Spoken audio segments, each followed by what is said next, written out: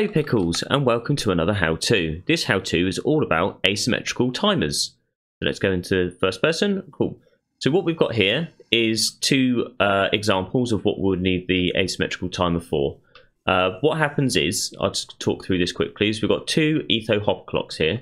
One of them has got 64 in and the other one has got 16 in. So this would have the less in.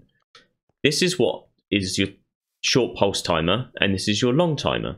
So what we do is we turn this on and what's going to happen is the 64 items are going to come out of this etho hopper clock, uh, this hopper into this one. Once all the items have left the hopper, it will switch off this torch here, which will then start the clock here. And it's the clock here which will then activate everything. So as we can see, the pickles are going to be leaving soon. And then what will happen is this piston will move over. Here we go kick the clock, the dispenser on to get the water out, and also pick the mob up.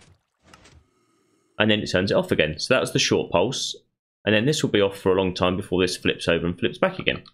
So what I've got here for my examples are, this is representative of a mob farm.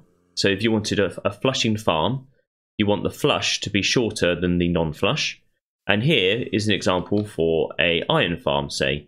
You want the mob to have popped up for a short amount of time and then to be down. And for an iron farm, it'd be roughly 38 seconds. So the mob to be not seen by the villagers for longer than it is seen by the villagers, effectively. Um, so yeah, so this is how it all works. What we do now is we get into the build. So to build this, what you want to do is build one etho hopper clock facing this way. And this will be our long pulse etho hopper clock. So we put all that, the comparator down coming off the hoppers there and we put two stones there. Then we want our redstone here and here, and this is what's going to power our piston. And here, and then you want a redstone block there. So the redstone block locks the hopper, effectively. And then what we want to do then is put in 64 items in here, because this is our long pulse. And then what we want to do is take a signal off of the hopper clock, the etho hopper clock here, so we take it off, but you need to invert it. And then just check well done. Yep, cool. And then what we then want to do is take the signal off of that. And we will then build another etho hopper clock here. So we want the comparator. You want your two hoppers facing into each other. A comparator reading this hopper clock on this side uh, redstone dust here, and then your piston will go here and here. And then we put our red block there. So in here, we then want to put our 16 items. And then what we need to do to activate all of this is put a block just there so that this activates here. So that, yeah, the signal goes into this block and then powers this redstone here to turn this clock off. So that is pretty much how it all works. And then what you need to do for your farms is for your, if you're going to use it for a mob farm or to have a piston, a one signal pulse, we take a signal off of here,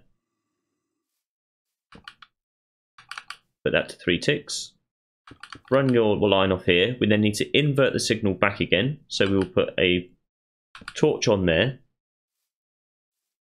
we then put a repeater there and our piston there. So effectively, once the 16's gone, it shuts it down again. See? So that's all that done. So that would be for your mob farm. But in order for the dispenser to work, we need two signals. We need an on signal and an off signal. So all we do for that, if we just get rid of this, is we just run two lines out instead of one.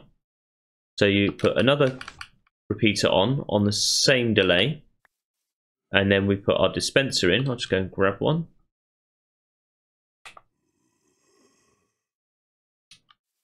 Put that in there. And we're going to want to block the water off so it doesn't ruin our redstone. I'll grab a water bucket.